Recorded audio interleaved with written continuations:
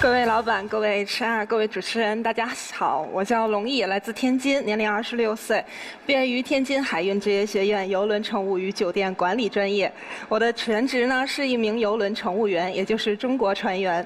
今天来到非你莫属节目呢，我想应聘一个关于行政助理或者公关的职位，谢谢。欢迎你，龙毅。好的。哇，好高啊！呃，天津姑娘。是。学的是这个邮轮乘务与酒店管理。嗯，呃，看你的这个经历，挪威真邮轮公司、美国皇家加勒比邮轮，跟大家也推荐一下啊，在我们天津啊，有这个国际邮轮母港，啊，很多这个国际邮轮呢都会以我们天津为母港，开始它的这个航线。如果有机会的话，大家还是可以在工作之余的话，还是可以选择度假的一种模式的话，还是带推荐大家去游轮的话，嗯啊，Welcome on board，Thank you。你是从学校出来之后直接就进入到游轮公司工作了，是吗？嗯，对，嗯，我们学校是我在上大二的时候，大二上半学期的时候选上了游轮。然后我看你这上面职位写的是清洁工。对。刚上去的时候，我是负责打扫员工的洗衣房，还有员工的卫生间。我一个晚上大概要做十九个卫生间的清洁。是员工区的，因为是我们船员呢是来自五湖四海的，各个国家的都有，啊，所以卫生间的话，大家的用厕习惯是不太一样的，所以他当时这个卫生环境真的很糟糕，嗯，然后还有需要一些个就是我们要趴在地上去擦地，然后要拿吸尘器去吸地，就是大家能够平常想到的呃清洁工作我都做过。这份清洁工做了大概多久了？我干了一整整九个月，然后对我扫了将近五个月的卫生间。那后四个月是做什么呢？嗯，扫客人的卫生间，我升级了。就升级了 啊，从这个员工区变成了客区。对，这九个月都是和。我们所说的清洁有关，都是清洁。九个月之后呢？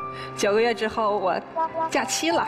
哦，就假期了。对，然后回家休了个假，然后再回到我们的船上的时候，我的职位还是清洁工，没有变。然后在船上的时候，当时是有一艘船，然后要来到我们的中国，是二零一七年的时候，那艘船要来到我们的天津嘛，以天津为母港。然后我很荣幸，很荣幸的去选到，被分配到了那条船，然后我的职位就有一点的提升，然后升到了保安。嗯，什么？保安，保安，对，保洁员到保安，这个是存在一个什么样的职业进阶？跨越很高吗？我们酒店部门的话，最大的是酒店总监嘛。然后当时他的这个就是他的跨越，就是我要从我们船上的最低层的 crew member，然后变成了一个 officer，然后穿的是一个带杠的衣服，女孩子嘛，比较虚荣。我说实话，那个时候干清洁工也不太想要天天穿那种。普通的制服也不太好看，毕竟我还是有点这个 偶像包袱。很正常，爱美之心人皆有之嘛。对，然后保安的制服又很好看，然后又很威风，然后裤子好几个口袋，这插一个手电筒，这插一个电棍，然后就 就腰带什么就就又有水壶，就很威风很飒利，然后。就觉得哇，这是我想要的职位，帅就他了。虽然他们笑，但是你们体会不到，从曾经一个清洁卫生间，到现在可以为客人提供面对面这样的服务，我觉得那种心里的心情的跳跃。是无人能够去描述的，对吧？我们其实我们其实是为他开心的，我们觉得挺好的，挺开心的，听着都过瘾。而且大家注意他身上巨大的反差，他讲了很多做基层工作的这个这些事情嘛。而他重点是，人家一七年人家是世界旅游小姐大赛的入围，是吧？对。一个世界旅游小姐，然后推着一个打扫卫生的车，跪在马桶那擦马桶，这种巨大的反差，其实反而让我们为你点赞。对我们觉得特别难能可贵。你说一个女孩哈，这么形象不错的女孩，然后做这个工作的时候，她讲起来娓娓道来，完全没有觉得自己有任何的不好意思或者觉得难以启齿。我觉得这非常棒，真的非常棒。我想问一个问题啊，你看你形象这么好，然后呢品质也这么好，在游轮上工作能耐得住寂寞，工作经验有四年了，你最高的工资拿到了一万四，为什么现在啊期望的薪酬变成了六千呢？嗯，之前的工资很高。是因为我们嗯，其实是我们的保底工资，但是我们当时拿的是美元，不是人民币。我在国内拿六千块钱的工资，我花的是人民币，所以这个工资的话，其实是这样子。我这次选择回来，是因为我的父母他希望我能够在天津安定一个家，因为我从大学的时候大二我就走了，将近六年的时间我没有在家里人待过，就待的话也是简简单单的两个月，啊，就今年回来的时候，我妈就跟我说了一句话，她说：“闺女，这六年。”你的心都野了，你的心已经像一块石头了。我们怎么也捂不热，因为我们有代沟了。然后我就跟我妈说：“我说妈，不是的，是因为，嗯，其实说实话，船员这个这个名字真的很好听，是一个乘务员的名字，它很好听。每个人都会有多多少少会有一点虚荣，我也有，所以我会选择继续在船上，不管有多苦、多累、多难，我从来没有跟我母亲说过。”我也没有跟我家里人说过，我每回回来的时候都会带着现金，妈数钱，闺女我回来了，咱吃好吃的去，我都是这样的一个状态啊，所以钱对于我来讲，现在来讲就是爱更重要，家更重要。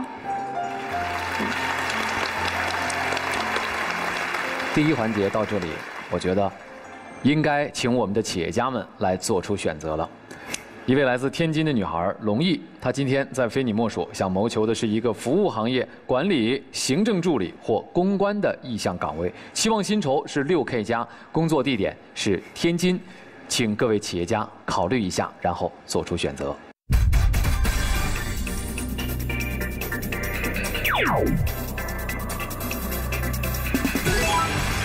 非常好。台上还有十一盏灯为你留下。接下来我们进入到龙毅的第二环节——天生我有才。既然你曾经在游轮上做过客房区的服务员，我想问一下，呃，很多客房内啊，呃，服务员非常有心，会给客人呢在床上用毛巾叠一些各种造型的小布偶啊，或者叫小玩偶。嗯，你会吗？我会，然后你会的话，大概会二十多种。会二十多种。对。那接下来天生我有才的才艺环节展示，不妨就给我们来展示一下你这方面的技巧，好吧？可以的。来，我们请工作人员拿上来我们的道具，让龙毅为我们露一手。好，大家现在看到了啊，我们的这个桌子上啊，摆放着两个小动物，都是毛巾叠的啊。住酒店有经验的朋友，哦，三个哦，手里还有一个，这是个什么呀？你猜？就闪电是吗？疯狂动物城里头那个 星星吗？对。我怎么觉得像树懒啊？就那个 Flash 哈，就那个闪电动作很慢的那个。这个是？是一条小狗。小狗。小狗还戴着墨镜啊。这是大象。一般的服务员要练习用毛巾叠成各种各样的动物造型，需要多久？嗯，像大象的话，是我们呃入门的第一个动物啊。然后当时也不会给你太长时间，就是你的老师他会教你一遍，然后你就自己去研究去了。那接下来今天想在我们非你莫属的这个才艺环节展示当中，给大家叠一个什么样的小动物呢？嗯，是这样，我今天一共带了三个动物嘛，然后我想在现场选一位老板，然后能够帮助，然后我来就是咱们一起来互动来叠一个，然后这三个您可以任选择一个。嗯，那我来。好，超燕自告奋勇，那我们就邀请黄超燕到台上一起来体验一下啊！来，超燕。我喜欢手工。来，老师您看这三个，您喜欢哪个？喜欢沙皮狗。沙皮狗是吧？好，来，大卫老师收嘞。哎，猴先给您待会儿。哎，好嘞。你们见过遛遛鸟的？你们没见过遛猴的吧？啊，你没见过遛猴的吧？啊，带出去转一圈。别闹啊！一会儿回家看非你莫属啊。嗯，首先的话呢，我们是先拿一条大的浴巾，来，您给它这样对。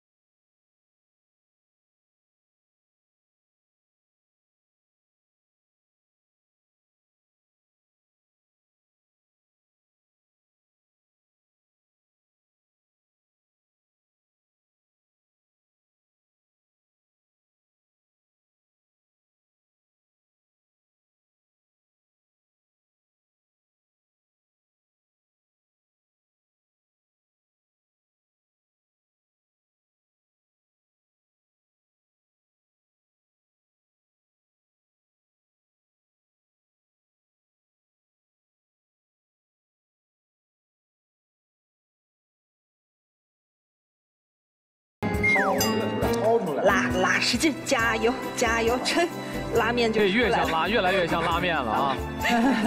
OK，可以了，做的不错。然后翻过来，这样让它躺下。趴的对，然后我们的头就是可以啦。嗯，对。然后的话，我们拿这个毛巾，然后下面的话就是比较魔术见证奇迹的时刻，我们的汪汪汪要来了。来，首先我们先把它打开平摊。我们这天津女孩多可爱啊！见证奇迹的时候来了，汪汪汪！哈，嗯，不卷。然后您找一下中间点，做一个三角。您从那边窝一下，嗯，然后往下窝一下这个角。对，然后两边开始卷，这边和这边两个角开始卷。OK，拿起来，拿起来，然后这样冲着您翻过来。OK，然后上面手可以撒开了，然后您可以放在这里。OK，哦，还真的哈，有了一点小狗的感觉了。这就做完了，然后大卫老师，您看方便眼镜借我们一下吗？行，只要他不看我低就行啊。来，然后您把这个鼻子卡在他的鼻子上，对，他的鼻子在在这儿，卡这儿，OK。哎，没眼睛，你忘贴眼睛了吧？眼睛咱最后对啊，咱咱贴两个眼睛嘛。借两个。这这个就不借了啊，这个就不借了。嘿嘿，我的眼镜框好可爱啊。哎，好，这看着像个猪啊！眼镜闹的啊？对，哎，小叶说的对，是有点像小猪，嗯，对吧？是有点像小猪啊。超燕这不经意间叠了一只小猪出来，佩奇，非常好了。第一次学习的话，其实说实话，能够叠到这个样子，真的是已经很好了，非常棒。好，谢谢超燕，谢谢。一只有学问的狗狗。哎，来，给您眼镜戴了。好，谢谢。客房服务员每天要叠多少个这样毛巾做的这种小玩偶，其实背后的辛苦也可想而知啊。我们再次用掌声感谢龙毅为我们带来的精彩表演。龙毅，你是学邮轮乘务与酒店管理出身的。对。今天你来是想找一个服务行业管理、行政助理或公关的岗位。对。啊。哪位企业家有感兴趣的问题？现在可以抓紧时间来向龙毅提问了。呃，龙毅，嗯，你对公关的理解是什么？嗯，虽然我没有干过这份工作，我的理解就是要处理一些个危机，然后维护我们的企业形象。嗯，那么说你这个理解的还是就是媒体公关的这些事务。其实公关是公共关系嘛，很很广泛的一个意思。那我想问，如果假设哈。呃，有一个媒体的危机的诞生的话，你首先想到的是怎么去解决？能不能说个具体的案例啊？我还是拿我擅长的吧，邮轮行业吧。啊，如果在邮轮上面，我们如果要是发生了这些个呃，就是比较人员吧，人员故呃故就是身故的事情，话我们的第一反应那肯定是先救人。那如果我们救完人，这个人还是没有的话，我们会给这个尸体进行妥善的处理。当然，如果有新闻媒体来的话，我们尽量能够去压制这个信息。如果媒体非要报道的话，那我们只能说，在我们我们要媒体的时候，我们只会偷偷的去给媒体说一下，我们当时是怎么去救他的，然后我们当时做了一些个什么样的去努力，然后去挽救。嗯，其实呢，我感觉你这个回答不好，就是因为你刚才提了两次压制，压制就想掩盖事情的真相。公关是什么？公关是可以通过策略和行动去让公众接纳，并且让媒体去认同。而你去压制媒体，在今天自媒体人人都是这个发声筒的今天，那可能有人拍下来，或者是等等的问题，你是压制不住的，所以这个不是策略。OK。对于他来说啊，我觉得职场经验可能他比较缺失，就是要稍微的向下兼容一下他，有一些情况可能对他来说真的很难理解和驾驭。嗯。我当时觉得他曾经的这些经历，对他来说非常好。因为其实从我刚才在跟你去互动的这个小小的一段时间里面，我能感受到你的第一心境，第二特别有耐心，第三他引导力很强。我认为其实你不仅仅只是会那一部分，因为很多事情底层逻辑决定了一切，所以我相信，呃，你可以去从事的行业可以非常的多，非常的宽。比如呢？嗯，比如如果说他愿意到北京的话，我可以亲自带他。我觉得给你的建议的话，有三个行业是具体的岗位。第一个就是前台，形象好、气质佳，啊、还细心。第二个的话就是行政，然后第三个的话，你也可以考虑一下酒店行业。就刚才的这个技能展示，实际上是跟酒店的契合度非常高的，啊，你可以去星级酒店的，没有问题的。其实第四个的话，就是一些技能的培训学校。因为酒店行业需要大量的这样的一些专业的技能人才，而且今天在场呢，我觉得有一个企业特别特别适合你，抓住机会，好吧？好。来，接下来我们进入到龙毅的职场情商课，看看你的职场情商如何。年会上，你给你的部门领导敬酒时，领导抬高了一下你的酒杯，这个动作你觉得包含什么意思？首先，我要确定一下我的领导是不是已经到了他喝酒的兴奋度了。嗯，然后如果是他到了一个兴奋度，他的意思就是告诉我他不能再继续喝了。那如果他没有到这个兴奋度的时候，那我可能会觉得，嗯，他是不是需要我的一些个帮助，帮他去促成一个合作，或者是其他还有在座的各位，嗯。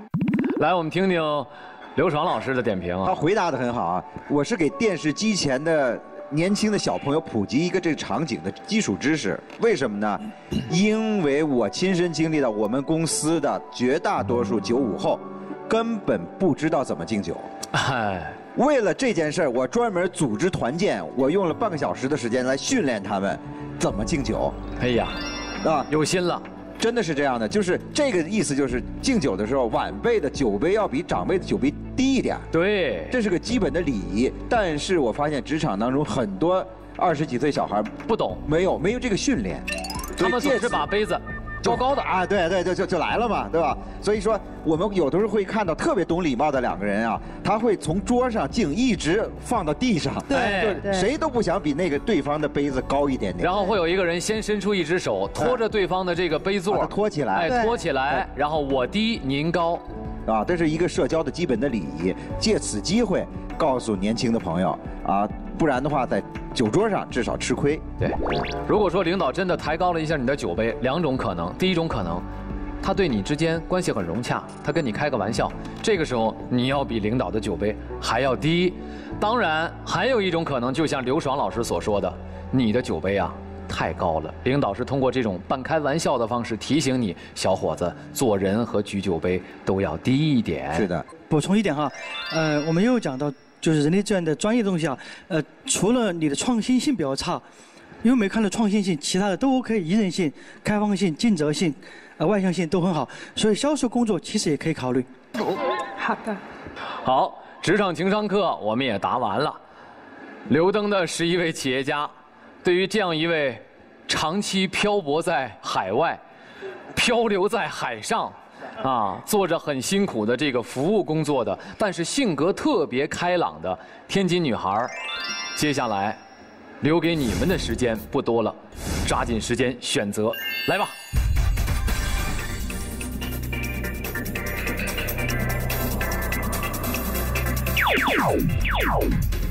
非常好，龙毅，还有五盏灯为你留下。来，一起进入到他的第三环节——谈钱不伤感情。来，我们先从何文开始来。全是鱼给的是线下课程推广，所以希望你来我们这儿做推广员，把我们的线下的课程推广给大家。课程底薪是五千八，还有提成，谢谢。工作地点是？工作地点在北京。少年得到给你提供的岗位呢是行政专员，哇，工资是九 K，我们是一年十五薪，呃，比较期望你能够在工区管理，呃，还有那个呃一些员工的活动这个维度给我们公司一些帮助啊。龙毅，我这边给的是销售顾问的岗，然后我写了两个城市，然后我给的是一个高级销售顾问的岗，就是他其实在我眼里你。不需要从零开始，所以城市你可以考虑一下哈。给了你双城双选啊。呃，我给到你的最主要的那个职位其实是后面这个助理。我更希望能够用你的温暖，用你的耐心，然后帮助我协助开拓更大的天地。谢谢。好，工作地点也是北京对吧？对，北京。来，于林，我给到你的呢是媒体圈社群的这样一个拓展的工作，在做公关，我们是专业的。我给到的是七千，好，看清楚了之后，考虑一下，灭掉其中的三盏灯。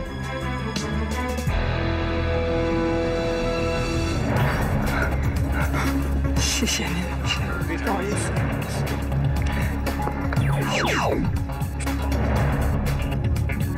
我留着。不要不要，我留着。哦，心痛。哦，你不要灭他是吗？哦。你只是谢谢他。我跟你说啊，你不要瞎做。别吓唬他，本来对你别吓唬他。我今天被灭，你把东北吓坏了，东北。继续吧，继续吧。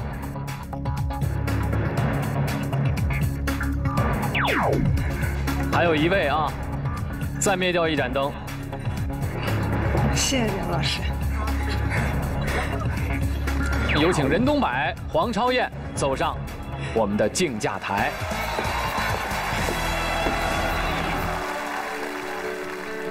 谈钱不伤感情，你可以分别问他们一个你最关心的问题。另外，如果你觉得自己可以，你还可以在现在的这个基础上，为自己在薪资上争取一下。我想问一下老师，呃，就是我的创新性确实不是很高，您愿意特别有耐心的去教我吗？我其实只需要认可一点，刚才我前面就说过，我只要底层逻辑里面你优的那一部分。首先，首先你非常的有耐心；第二个，你爱笑；第三个来说呢，你很有服务精神。而米斯兰的集团公司旗下的这些品牌，其实可以统称为是个服务型的公司。所以呢，其实你能发挥的地方很多，可以细沟通，而且我也愿意亲自带你。少年得道这边有什么想问的？不问了。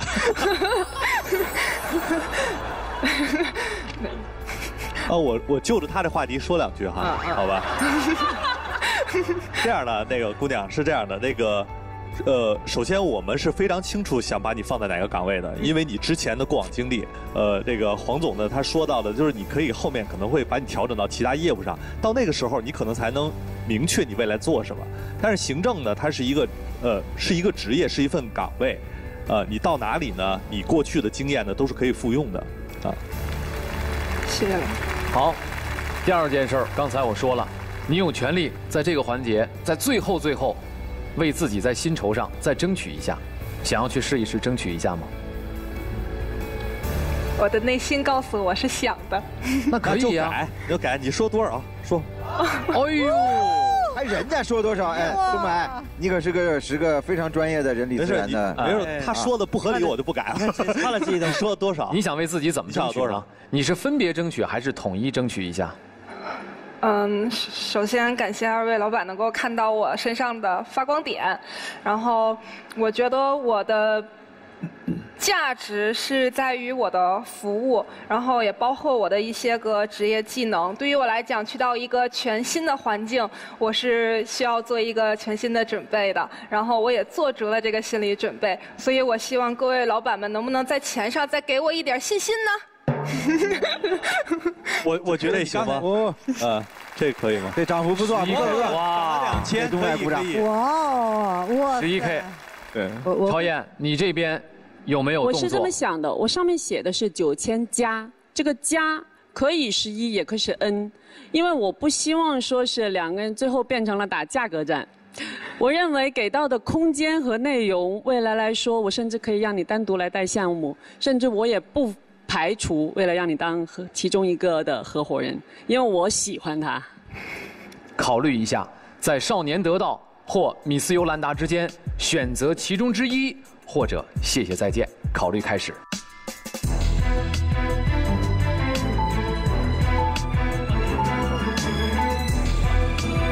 那么龙毅，你的选择是？我想选择有，让能够让我再发展一点。好，谢谢。最终龙毅选择了米斯尤兰达。嗨，祝贺。